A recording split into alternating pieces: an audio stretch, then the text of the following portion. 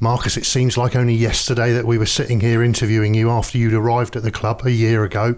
Has that year flown by for you? Yeah, definitely. It's it's been a, an amazing amazing season. I thought it couldn't have gone uh, any better on, on a personal and, and the team level in, in the sense of the season. So I'm, I'm delighted for what's happened so far. It's certainly been a successful first year for you. Your reward being a new contract. You said you said it was an easy decision to make. Yeah, hundred percent. I knew, even if this didn't come around, that, that my, my plans and ambitions were to, to do well at this club, and and luckily enough, so far they, they have done with a with a. I feel like we defeating all the, the people who, who told us that we weren't going to do so well. You clearly feel the club is ambitious, and it's going places as well.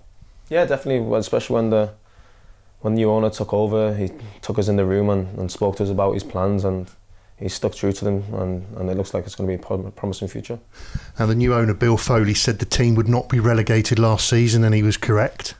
He's also said he wants the team to push towards European football. That must excite you as a player. Yeah, definitely. That's all you, you want as a player to, to play at the highest of levels and the first step was to, to stay up this last season and, and we've done that. Now it's time to, to build on it this season and and, and push for high, higher places in the league.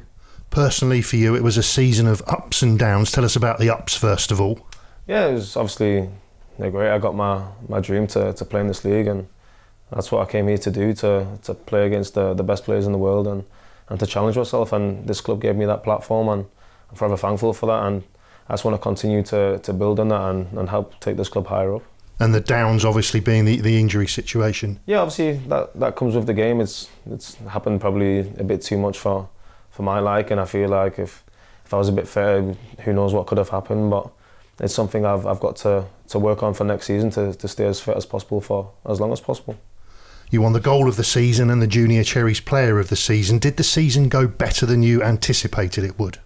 I didn't know what to, to expect too much because obviously it's like I, I, told everyone, it's someone, it's some, something new for me. It's I was moving away from from what I like to call home and coming to the toughest league in the world. So it was a, it was probably, um, I don't know. It was just, it was an, it was an easy, easy place to settle down and and be able to be myself on and off the pitch. So I think that's had a big factor in in terms of how I've played. I know you've been working hard during the off season, rehabbing. Just tell us how things are with the hamstring now. Yeah, everything's going well. Um, can't thank the, the medical team enough for that. I mean, I've been in over over the off season. I know that the plan is to to, to get fit and, and stay fit, and if that's what they, they need me to do, I'm, I'm, I'm here to do it, and everything's going gone really well so far. It's quite a short turnaround this year as well. Have you had a chance to recharge your batteries as well? Yeah, I've had a, a little chance to, to recharge my batteries, and I'm looking to, to go away and, and spend some more time with my family. Now, the Championship playoffs didn't quite go the way that you were hoping for, for Middlesbrough. So, just tell us what you what you make of the three teams that are coming up: uh, Burnley, Sheffield United, and Luton. Um, they're all, they're all they're all good teams, and to get in this league, you have you don't you don't do it by, by luck. You you play your way to get in this league, and a lot of people will say things about all the other teams, but you you've got to just focus on ourselves because a lot of teams doubted us, and a lot of a lot of people doubted us out there, and we and we proved them wrong. Saw in a sense, you don't want to give give teams that fire to, to, to prove prove everyone else wrong. Fixtures out this week. Were there any that stand out for you? Maybe a stadium you might have missed out on and playing in last season, or any any team even? Yeah, definitely to to miss out on the Emirates. That's probably the the main one. But I feel like the, even though the fixtures list came out, we, we can't look too into detail on it because last season we, we started off really tough and we had a lot of ups and downs during the season, but we learned very quickly that you just take it a game at a time.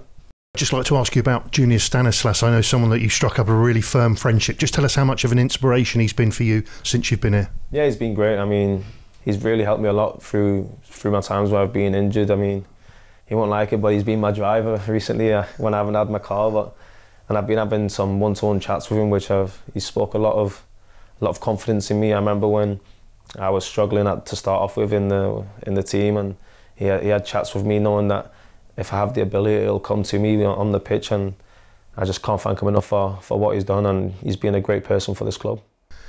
What are your hopes personally for next season? Firstly, I just want to stay stay fit and and not get injured as as much, of if not not at all. But I really want to help the team in, in putting the ball in the back of the net or assisting players and having a positive impact going forward on the game.